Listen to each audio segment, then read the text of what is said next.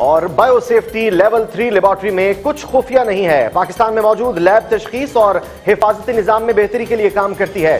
चीन की Wuhan lab के पाकिस्तान में खुफिया ऑपरेशन की खबरों पर दफ्तर खारजा का रद्द अमल।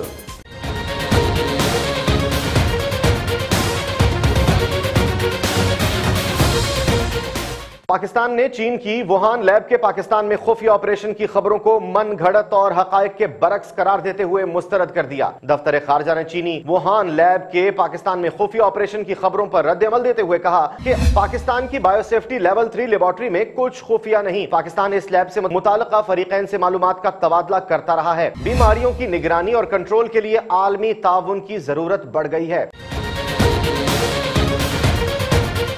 तर्जुमान दफ्तर खारजा आयशा फारूकी ने मजीद कहा कि चीनी लेबोरेटरी के पाकिस्तान में गैर कानूनी खुफिया ऑपरेशन से मुतालिक खबरें झूठ पर मबनी है। हकाइक को तरोड़ मरोड़ कर बयान और नामालूम जराये से मंसूब किया गया। पाकिस्तान में मौजूद लैब तशखीस और हिफाजती निज़ाम में बेहतरी के लिए काम करती है। पाकिस्तानी लैब सेहत को दरपेश खतरा सर्वेलेंस और बीमारी के फैलाव का सद्देबाब करती है। Pakistan B T W convention के कवायद पर मुकम्मल तौर पर अमल पैरा है।